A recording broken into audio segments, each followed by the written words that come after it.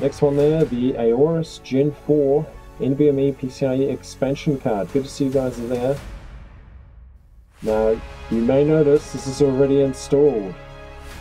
Yes, that's correct. I already have this installed. We're going to try and remove it. I'm going to take you for a quick demo through this card. I think it's an incredible upgrade. Sorry, we're experiencing technical difficulties. This is a tough card to remove, however, we got it.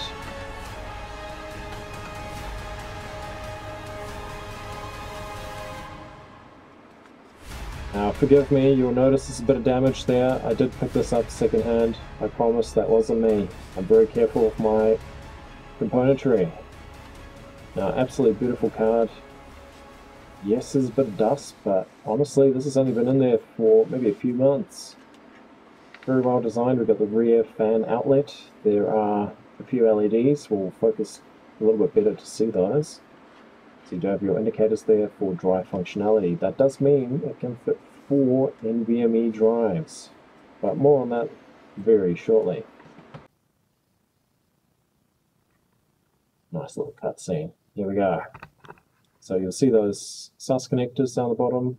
We've got the rather suboptimally placed uh, SATA connections there as well. They do run into problems with GPU clearance. Okay, cover on for safety. Let's launch right into this. Very easy to fit, but you will have to make sure you pick up some nice NVMe drives for this one as well. They do require the M key as well, but more on that later. Now I'm going to take you through the full process here. Screw removal, very important on these. They are very fine um, headed Phillips screws, so you want to be careful. They are quite easy to strip. You'll notice I'm using a hand tool. Definitely wouldn't go near these with the power tool. Way too risky. You could either destroy the screw head or you could destroy uh, the nut mounted within the uh, fan shroud there. You want to take your time, be patient with these. You'll notice there every once in a while it sort of slips. So you want to make sure that the Phillips head bit that you've got is a perfect match. Mine is decent, but even then, these are very delicate screws, not easy to get them out. Okay, as we work our way through, one to go, you notice there are six on the rear panel. Those, as far as I know, only function to hold uh, actually the rear uh, shield there, but they do go into, given their length, the uh, sort of front shroud as well, so you absolutely want to get these off. They do expose the PCB, so the control board there, as well as the next lot of screws that we have to remove. So again, very well designed, nice for uh, probably mainly for strengthening the card. It's quite a long card. So the next one's there, four screws on the back. Those have to come out to be able to pry apart the fan shroud there from the rest of the motherboard there. A little motherboard or a PCB. So these screws super short. You want to again be very careful. Now I always go in a crisscross pattern just because that does provide you some uh, protection, mainly uh, sort of a habit you pick up from working on car engines. Uh, I assume the computer engineers apply the same rules as what we have in the car world. So four screws, very easy, then it should just pop open. Now if yours is brand new, this will be a breeze. Mine's been in the computer and I'm going to have some trouble getting this off. Now lots of tactics for this. You want to check to make sure you haven't missed any screws. Now, I'm thoroughly checking this, making sure that I haven't missed one, because if you have, you can cause damage. Uh, sorry, suboptimal camera angle. Maybe we'll transition to the other one. Uh, beautiful card, very, very well designed. And you'll notice here, just trying to pry a little bit. It appears to be loose, but you really begin to second guess your process when it doesn't want to budge. There's quite a bit of movement there. You notice the flicks in the board. But very, very risky here. You do not want to break the board. So gentle prying, double check screws. So checking the other side here. We're pretty confident there's nothing there, no screws. Trying to pry it loose, but it's just not budging.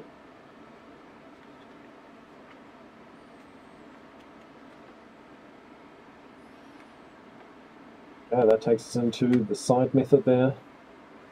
So again, just want to apply gentle force. You'll notice that it's coming apart. Lots of flicks on that board, but that is pretty much the only way you're going to get it out.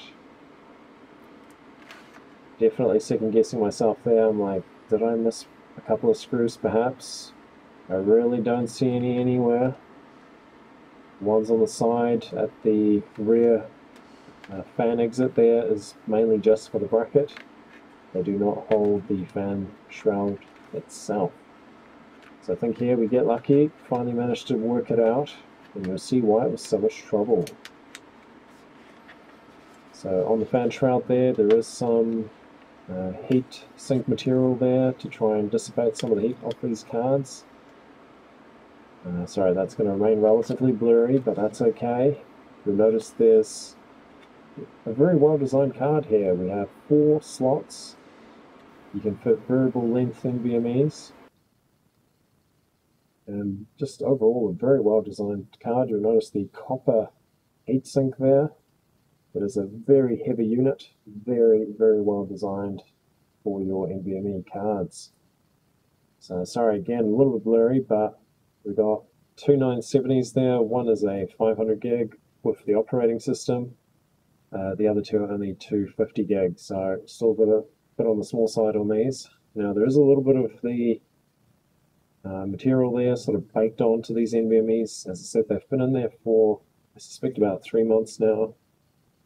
Um, but that's okay. We're really just here to show you guys what this looks like on the inside and how to actually utilize this card. So hopefully the camera will sort itself out soon. And don't forget the fan.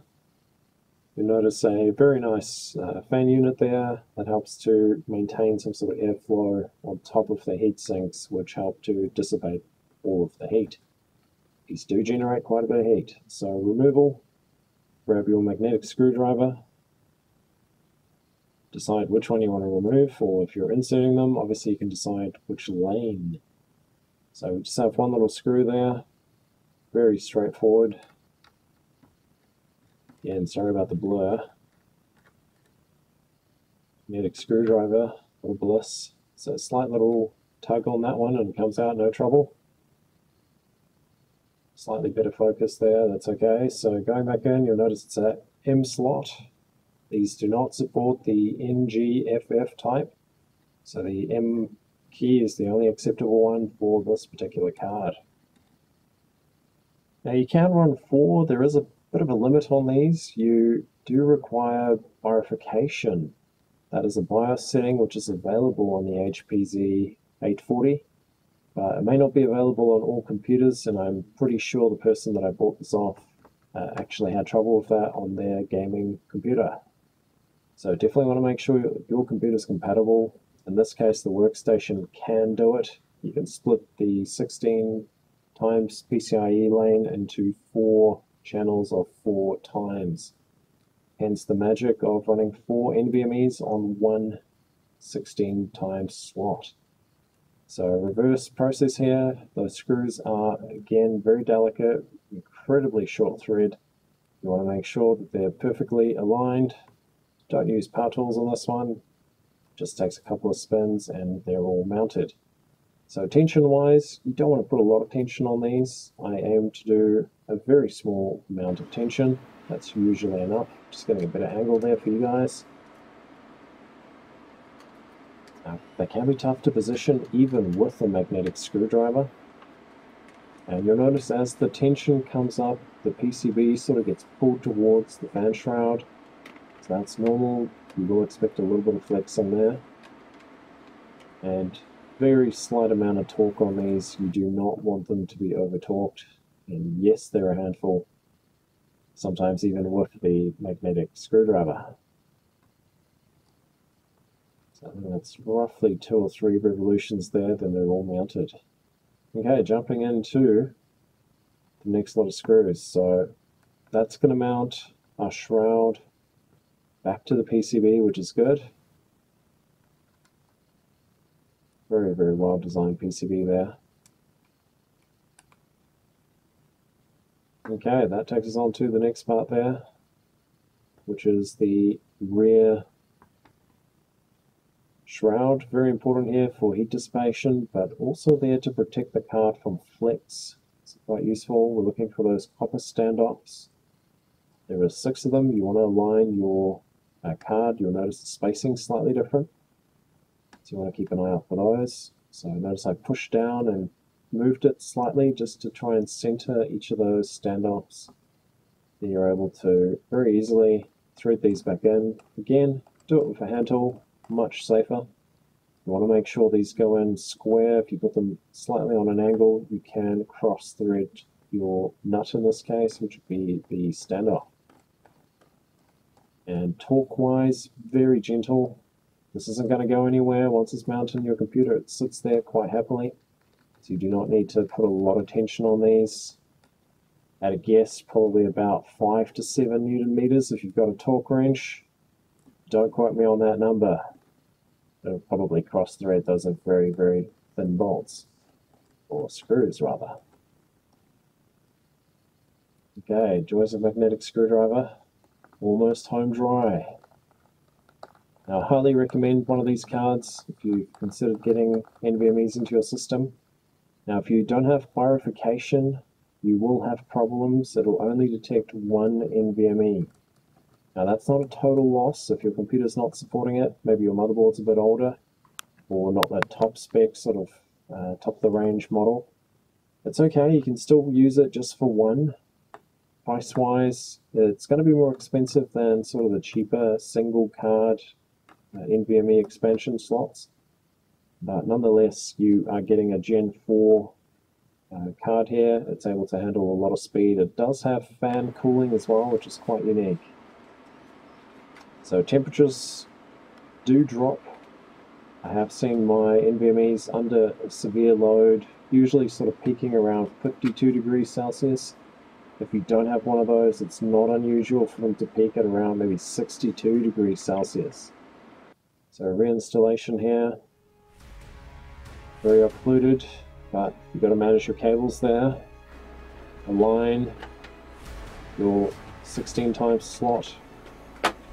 Does have to go into a 16 times to use the full speed. Gentle nudge. Now in this case, clearing the fans, checking that the GPU fans is still able to rotate. Could be worth checking the card, although I did that after installation. Now, cable management would be nice very, very tough on this to be able to manage your cable management there. Slight adjustment. The CPU intake fan is right there, so do want to make sure that cable's nowhere near that particular port. That's looking good. Awesome. Okay, let's get that cover back on. Now you guys know how to install an NVMe Express right into your PCIe lanes. Now hopefully you guys enjoyed that video. HPC workstations are incredible machines. I use them for pretty much everything. Take it easy at that end. I'll see you guys on the next one. Well done. Oh wow, you're still there. Well done. Bonus round, let's get through complete BIOS settings. You might not be so familiar with this software, to be fair it has been discontinued, but really useful. As you can see here we can go through, check out some of the specifications on the computer, helps you to keep track of all the different components lined up on this motherboard. Now, very important, going on to the next part here, we're going to look at the BIOS settings. Now you can do this within the actual BIOS as well, but this is just a handy little shortcut, being able to pop in here to quickly set up the bifurcation. Uh, really just doing this to show you guys because you'd have to do this in the BIOS to actually do this the first time you install it. But you'll notice down here we have 4 by 4 by 4 by 4 bifurcation active and that just allows us to run four NVMEs on that single 16 times PCIe slot. So very useful and quite a cool bit of software there as well, but I do believe it's discontinued. Last time I checked, it wasn't available for download. I'm sure you guys can still find it out there somewhere. Uh, but incredibly useful software. Now, one other thing that's useful here, we got system sensors. Very useful to quickly check all the temperatures and make sure all the fans are still working as they should. And I guess if they're misbehaving, you can check that there as well.